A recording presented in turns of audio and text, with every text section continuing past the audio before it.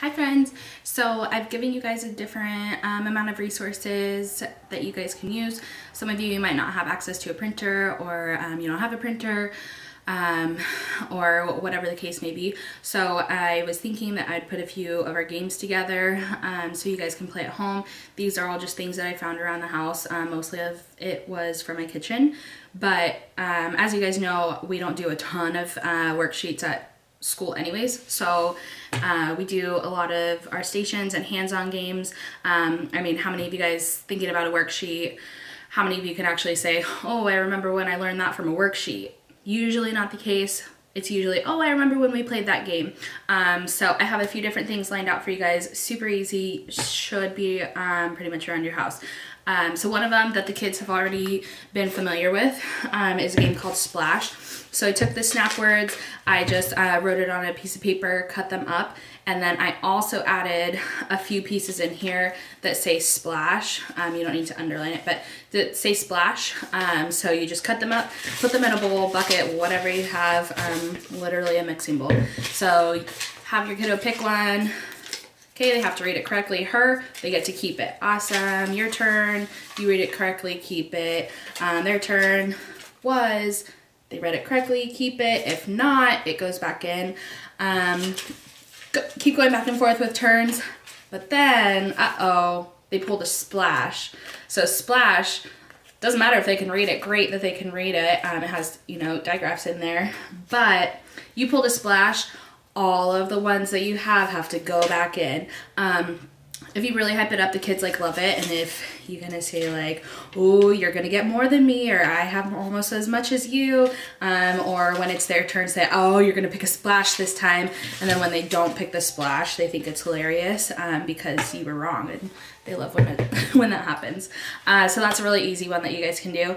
And then another one is I got just a baking dish and um, a blank piece of paper, wrote different snap words on it, and then you can get um, sugar, flour, uh, rice, even sprinkles would be cute, um, and just take it and pour all over it.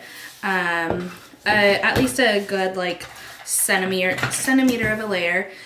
And then um, you can take some kind of little spatula, a spoon, um, whatever you have around, or even their finger, and they take it um, and just try to find a snap word. So I can try to show you. Um, so I was digging, oh, I found the word he. Okay, so I have my paper and my pencil, and now I just write down the word he. Okay, cover that one up. Now I need to go find another one. Oh, nothing there. Ooh, I started starting to see one. Oh, the word have. I found it. Now I get to write down the word have and keep going and going and going. Um, and you guys can write different words on different pieces of paper um, so that way they it doesn't get tiring to them um, and it's always something new. I would only do the same paper maybe three times. Um, but keep them so you can flip them out throughout the different days. All right, another one is, oh, Cheerios. So have your words just written on some flashcards, have them in a pile. Um, so we have our flashcards written and get Cheerios, um, any type of cereal or whatever. Super easy. Um, this can be like as a snack too. So I picked the word have, awesome. I'm gonna spell out the word have with my Cheerios. Okay, making my H, make the line all the way down, back up and over, and then have them spell out the whole word, and then you can say, oh, you spelled the word, great, awesome, you can eat those Cheerios now. So that's super easy, um, and they always love food. So anything to do with food is awesome. Uh, the next one is a memory game. So have uh, two sets of the flashcards, put them down, pretty simple memory game, uh, pick them up, was that, oh man, I didn't get it. Okay, your turn. All right, have, have, ooh, awesome. I get to keep these. That counts as one point. So there's that. Um, you can also take these and do a little scavenger hunt to get them moving.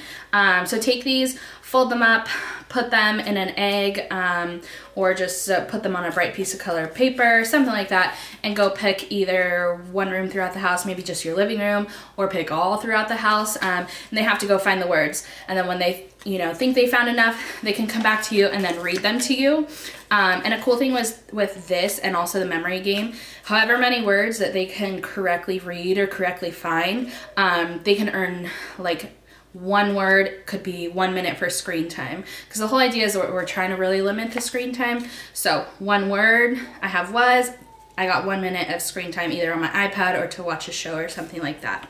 And then one last thing that you guys can do to um, reuse the um, sugar flour whatever you do is get all of your words together um, have them in a little thing and have a um, the sugar all over take their finger, take a marker, whatever you want, um, and they spell the words. So what? W H A T. Ooh, awesome. Okay, racy, racy, race. Next one was W A S, and it looks really cool. It's super fun. Um, you can mix in sprinkles to make it look really cute. Uh, so those are a few different options that you guys can do at home. Again, I found everything like literally in my kitchen. Um, but also remember, this is a big learning curve for everyone, um, all the distance learning, and honestly, anything is great. So don't um, be upset with yourself or beat yourself up or anything if you're not doing everything above and beyond. Pick one of these and do it. Great.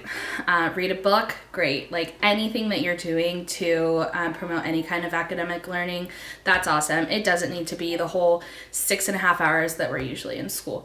So anything that you're doing, awesome. Keep it up. Hopefully we get to see you guys um, soon and we can do this back in the classroom. All right, see you guys.